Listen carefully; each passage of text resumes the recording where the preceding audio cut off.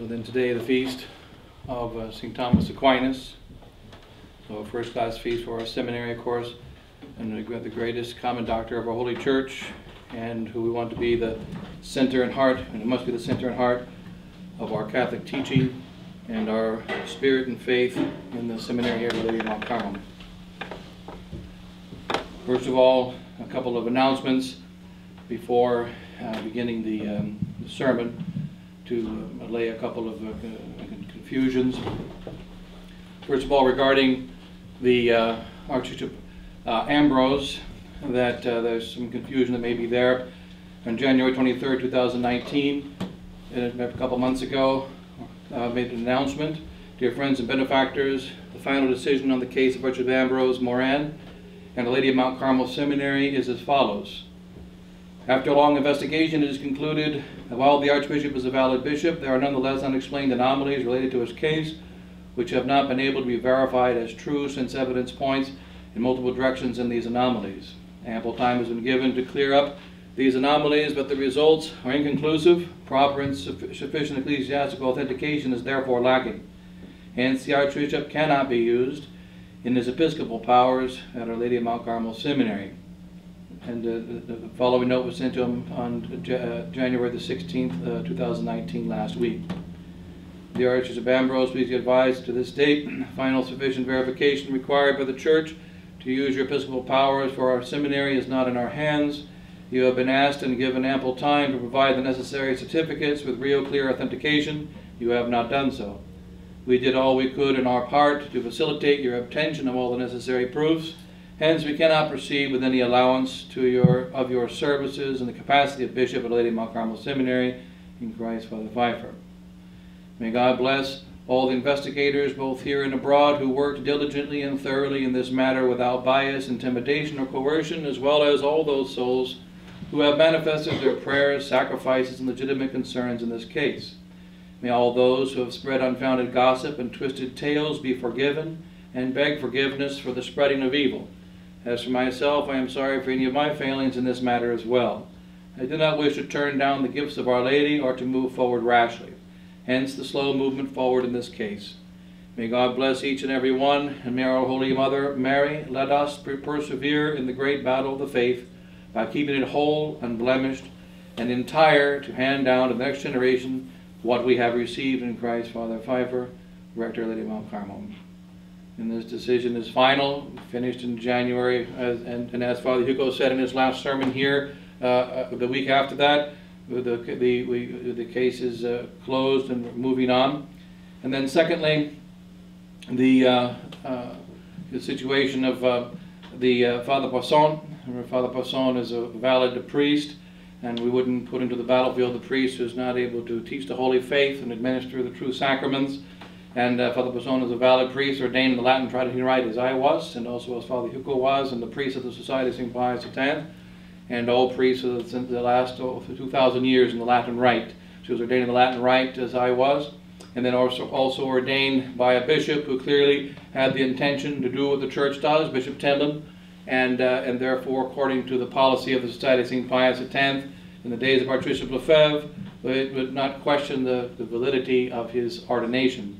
And the new ordination rite, matter, and form are valid in any case, following the principles of St. Thomas Aquinas.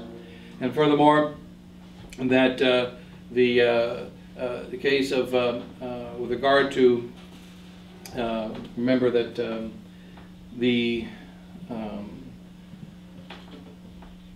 we would persevere in the holy faith, and we continue the work of Christ, and that's all, the, that's all, the, what we must do. In any case of your considerations here in the Feast of St. Thomas, in the Father, and the Son, and the Holy Ghost, amen.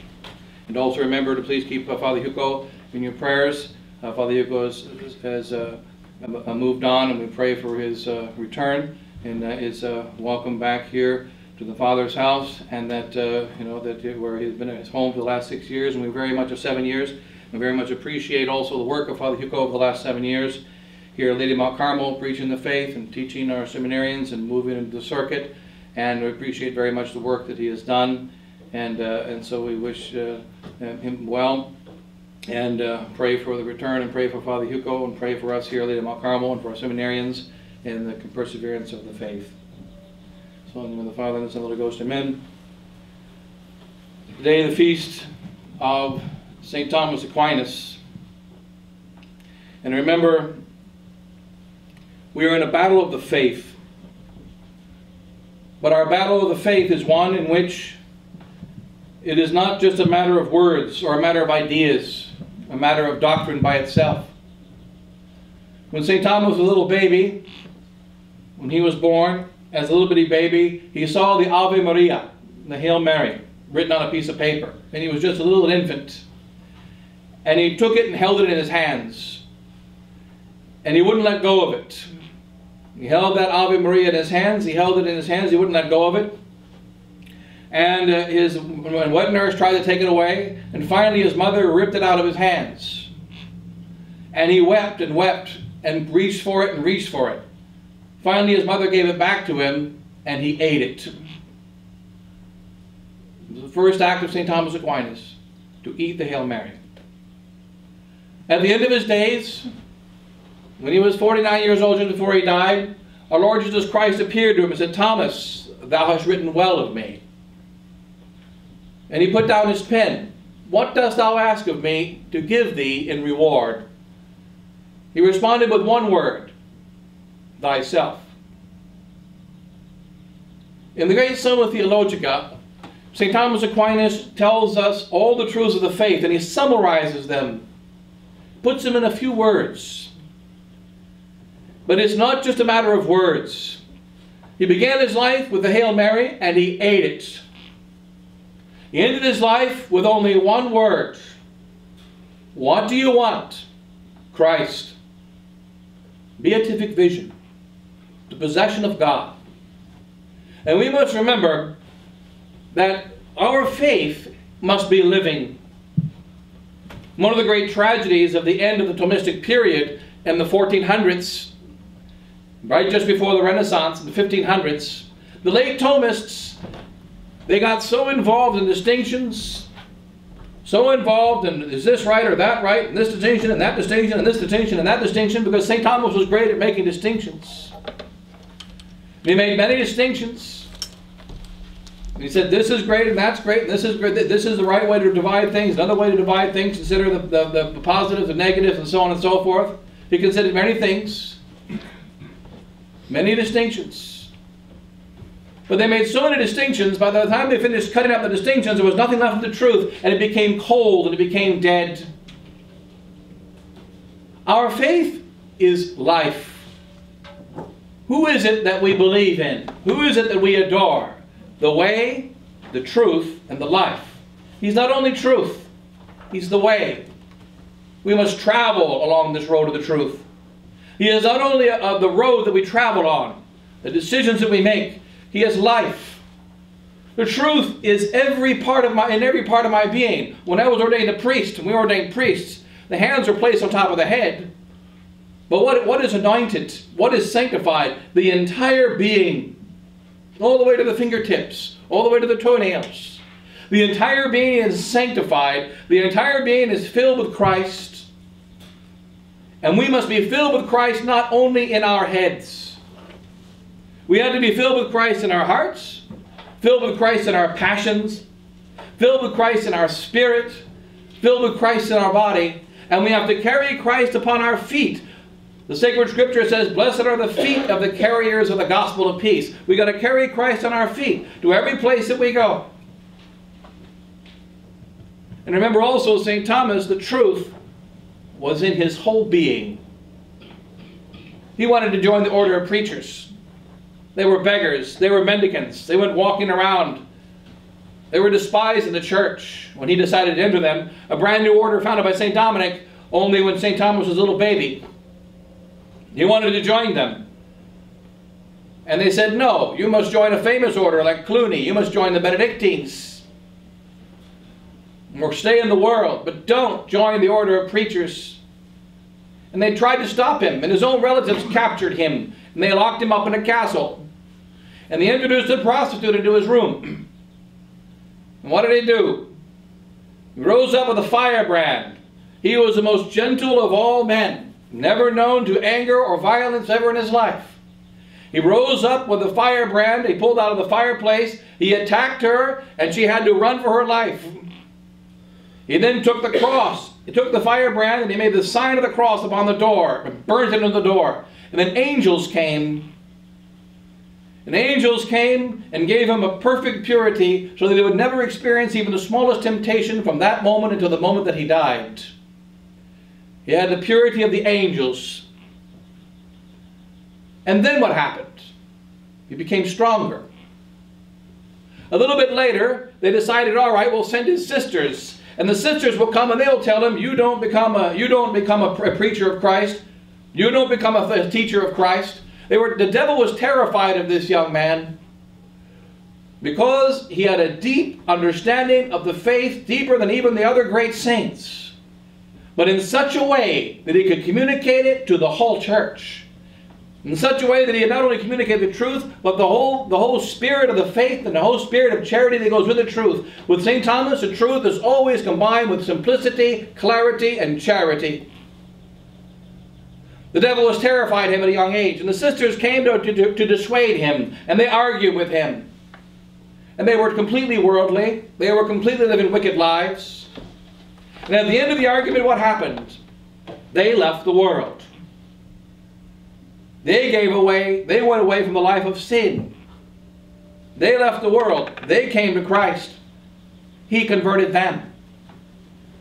He then went to learn under St. Albert the Great. Albert, who also learned from the Blessed Virgin Mary, because Albert had a hard time to learn. He had a hard time with his studies, and as a little boy, he jumped over the walls and tried to escape. And the Blessed Virgin Mary said, Albert, where are you going? He says, I don't like studying. I can't learn. Go back, and I will make you learn. The Blessed Virgin Mary, we call her the mediatrix of all grace. But she is not only the mediatrix of all grace, she is the mediatrix of all truth, because truth is a grace. We want to hold the truth against the modernists. We want to hold the truth against the errors and evils of the modern world. Go to St. Thomas Aquinas. Because he didn't just teach us the simple truth and the clear truth, but there's grace in every word that he wrote, especially in the Summa Theologica great clarity and great grace, and great spirit of faith and great charity. This has to be in our teaching. When we study the doctrines of the church, we must remember what their purpose is. The doctrines of the church are to save souls. The doctrine of the church is to cure the ills that original sin and actual sin put into this world. The grace of, of the truth heals. What do we call a doctor? A doctor is one who heals wounds, but the word doctor means teacher, and the main way that a doctor heals wounds is he teaches you. Don't eat poison, don't eat too much uh, sugar, uh, make sure you do certain exercises, uh, stay away from these type of foods, uh, you know, uh, etc. Don't breathe in carbon dioxide. He tells you different things you're supposed to do and supposed to not do. He teaches. And when the doctor teaches, health comes. He's not just teaching so that we can learn interesting things. He's teaching so that we can be healthy, teaching so that we can stay alive. And a priest is a doctor. The bishop is a doctor. The church as doctors. And the greatest of the doctors of the church is St. Thomas Aquinas. He teaches, well, what does he teach? To save souls. And one of the great troubles of the great heretics of the last 2,000 years they always turn to a kind of coldness. And they always go to some particular point of the, of the, of the scripture or some particular point of doctrine and they tear it apart and they twist it. And who is the answer? St. Thomas Aquinas. The popes have told us the answer to every heresy is St. Thomas Aquinas. You want to understand the modern world? Understand St. Thomas Aquinas. What does St. Pius X say in Pascendi against the sum of all errors, the grand collection of all errors, the great sewer of all errors, which is called modernism? You want to defeat modernism? Sacred Scripture, St. Thomas Aquinas. And when, they, when, when the, the, the doctors of the, when the, of the councils, they would put the Summa Theologica on the altar. We are going to teach, the church teaches what St. Thomas teaches. The church teaches the spirit of St. Thomas, the teaching of St. Thomas, and every single pope from the time of St. Thomas' death until, the, until Vatican II. Every single one of them, St. Thomas, St. Thomas, St. Thomas. He is the common doctor of our Holy Church. And not just because of his teaching, but because the spirit of his teaching that vivifieth, that giveth life. St. Thomas told is, is uh, one of his, uh, his, his uh, servants or one of his uh, disciples, he said, Where does your strength come from? Where does your wisdom come from? It comes from prayer, purity, and fasting. It comes from the Blessed Sacrament. Whenever there was a great difficulty, St. Thomas always prayed. He went in front of the Blessed Sacrament. When there was a difficult passage of Scripture, he not only prayed, but he also fasted. And he said, Divine inspiration came into me. He received inspiration from God, so much so that God, our Lord Jesus Christ, appeared to him just before he died, and a few months before he died, Thomas, thou hast written well of me. What dost thou ask of me? Thyself. And therefore, shortly after he made that request, God gave himself in the beatific vision to Thomas Aquinas. He was still under 50 years old when he died, 25 years old when he began to teach. And in that brief period of time, he wrote volumes of, of works. And his greatest, the Summa Theologica. He disputed against heresies and defended, handled every single heresy and error of all time. How did he do it? By teaching Christ. By teaching the truth of Christ and teaching what is the way to the sacraments. In a recent study of the sacraments, for instance, we do our little opusculas, little short studies that we do in various parts of the of the of the of the, of the Summa and, and the teaching of the, the theology, what does he say about the, the the sacraments, the form of the sacraments? The form of the sacraments are determined by Christ. He gives determinate words. He gives the answer. Can you add or subtract words? Yes, you can add or subtract words, so long as the meaning is kept. He gives the answer. What if a, what if a priest mispronounces the words and says patrias et filias instead of patri et, patri et nomine patris et filii et spiritus sancti when he's doing the baptism? Suppose he mispronounces patrias et filias.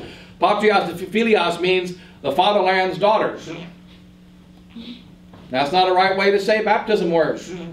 But St. Thomas says it is clear that the priest, when he says patrias filias, even though it says fatherland's daughters, he means to say the Father and the Son. And we take the word according to commentation. So that we see that what he means to say is patri, patri et filii, Father and Son. We know he means to say that. He mispronounced. God hears his word, and we know his word. And a reasonable man, if he heard that he mispronounced, he knows exactly what he said. And therefore it is said. But what about the modern Jansenists, the modern, the, mo the modern Protestants? Those of the modern spirit of Jansen. We find it amongst the Sedevacantists, unfortunately. What do they say? Well, he didn't, if the word is slightly different, if you can take it in a wrong meaning, it must be wrong. St. Thomas says, no. Follow the faith with charity. Follow the faith with the Spirit of Christ. Christ is not condemned so easily. Patrias et filias is valid. We must take it according to the accommodated sense, says St. Thomas right there in the question 60, Article 7 of the Tertia Pars. And each time he speaks about the truth, says, This is the teaching of Christ. This is how we approach the gospel. This is how we approach the faith. This is how we approach the various how moral uh, problems of moral theology. Here's how we approach marriage. Here's how we approach baptism. Here's how we approach converts. Here's how we deal with the teachings of our church. Remember, the church teaches and gives life. It is not just cold doctrine. And remember also he began with the angelic salutation. He ended with the beatific vision. He was in the middle, filled with the great sac- great virtue of purity, and then the, and, and on the communication with the angels. And then he, he had this, the being in front of the Blessed Sacrament. Remember, in order for us to fight against the errors and heresies of the modern world, we must everyone have a summa. We must always have a summa. St. Thomas always is the clearest explanation. Uh, we find time and time again Read John of St. Thomas. He is famous. John of St. Thomas is very famous. He's a famous uh, commentator in St. Thomas Aquinas. They say when you read John of St. Thomas, in order to understand him, you got to go back to St. Thomas. Because his, his explanation is so complicated that you don't know what he's talking about. So you got to go back to St. Thomas. Oh yeah, that's what he means. Normally the commentary is supposed to explain the original But in this case here, we always got to go back to the original. The same is true also in our present battle against modernism. Who explains best why evolution and Charles Darwin is an idiot? Guess who? St. Thomas Aquinas. Who explains best why the French Revolution is filled with lies and heresy and wickedness? St. Thomas Aquinas. Who explains best about the sacraments and, and that the what's the matter and form of the sacrament and what's the intention of the sacrament? St. Thomas Aquinas. Who explains best every single teaching of the church against the Arians, against the modern Arians? What do we mean by the, by the Blessed Trinity? What is the teaching of the Blessed Trinity? What is the teaching of the various teachings about Christ concerning that? What about the De Deo Uno? What about every single teaching of our Holy Church? Every single one. What about the angels? What about the sacred scripture? What about divine inspiration? Who gives the answer? St. Thomas Aquinas, St. Thomas Aquinas, St. Thomas Aquinas, with clarity and simplicity, without any fooling around of any kind, and when we get to the commentators, some commentators get so complicated that we have to go back to St. Thomas Aquinas and back to St. Thomas Aquinas. And what do the popes do? St. Thomas Aquinas. He is the answer to the heresies of 2019. He'll be the answer of the heresies of 100 years from now and 200 years from now, if God allows the world to last that long. He's the answer to the heresies all the way back.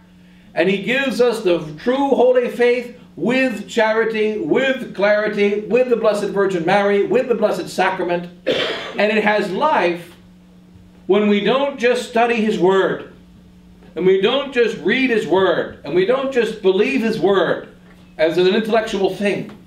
The faith of St. Thomas is the faith of our Lord Jesus Christ, and it must enter our hearts. And we must remember, as St. Thomas did, intelligence is not enough to defeat heresy. Giving smart answers don't defeat lies. What defeats heresy? What defeats lies? Faith, faith, faith. So St. Thomas will tell us what is more certain. Is it more certain that we are standing in this little bitty room or we're inside of this little chapel? Is that more certain? Or is it more certain that Jesus Christ is true God and true man? It is more certain that he is true God and true man. Because that's the certitude of faith. When God speaks, it cannot be wrong. When I speak, it can be a mistake. When I see, it can be a mistake. Even though I'm certain morally that what I'm saying is right. But it can be a mistake. But when Christ speaks, it cannot be a mistake. And Christ said that he is true God and true man. Therefore, I can make no mistake when I repeat that word of Christ. And I can make no mistake whatsoever in repeating his words and repeating his teaching and expressing his faith. Faith gives the greatest certitude because God is the source of all certitude. Therefore, what is going to be our certitude in this fight against modernism, in the fight against the, the, the, the, errors and heresies of the modern world, as it continues to get worse and worse, as the church continues to corrupt more and more? as souls more and more wander away from the faith, as they're finding more and more heresies and more and more errors and more and more lies, go back to St. Thomas. And notice St. Thomas's approach. He does not approach things from the perspective of, here are the Ten Commandments, and here are all the bad things you can do, and here's why they're wrong. No. He approaches things from the correct perspective. In the beginning there was God. God. Therefore, let us consider the one God in the prima pars. And God is three persons in one God. So let's consider the three persons in one God, De Deo Trino. And that God created us, De Deo Creatore. And that Creator, He made the world in six days. And the first three days were the work of distinction, and the second three days were the work of adornment. And this would also match our spiritual life. And then He rested from His work on the seventh day. And then God created the angels, and God created man. And he created man for beatitude in the, in the prima secundae, the first part of the second. He created man for beatitude, for happiness. We were made for happiness. And where is this happiness found? In God. And that is why he knew the right word to say when our Lord Jesus Christ said, Thomas, you have written well of me, and I want to give you a great reward. What is thy reward? What do you want? One word. Thyself. Because God is the reason for my existence.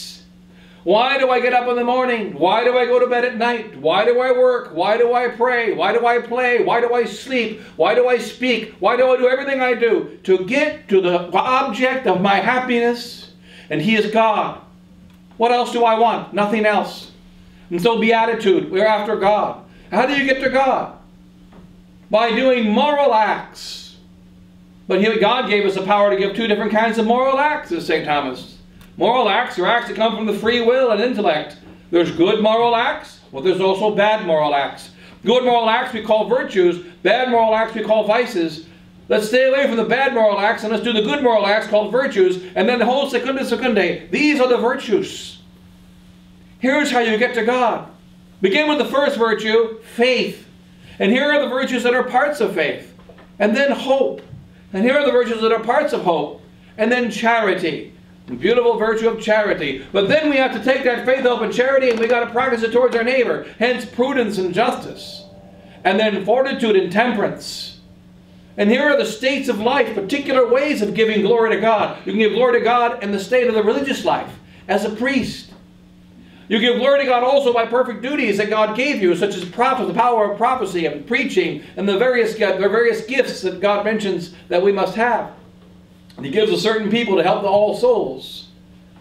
And then, how do we do these things successfully? How do we do these things successfully? How do we practice virtue? How do we do it? By imitating Christ. And we arrive at the Tertia Pars. And there is, there is a third part of the Summa, Christ. He came down on this earth to show us how to go to beatitude. And there's Christ. Christ is the answer. And we go through all the life of Christ. And how did Christ, did Christ abandon us? No. When Christ went up into heaven, he left his priests in the church. He left them to give us his teaching so they would remain to the end of time. And he left us his most holy sacraments. And then a treatise on the sacraments, finishing out the Tertia Pars and the supplement, which was finished after St. Thomas died, but his work.